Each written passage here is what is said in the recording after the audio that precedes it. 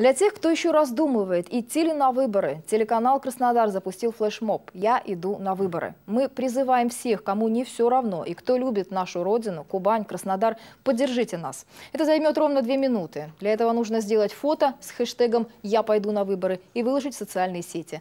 Старт акции дала наш специальный корреспондент Дарья Безинская. К ней уже присоединились десятки кубанцев.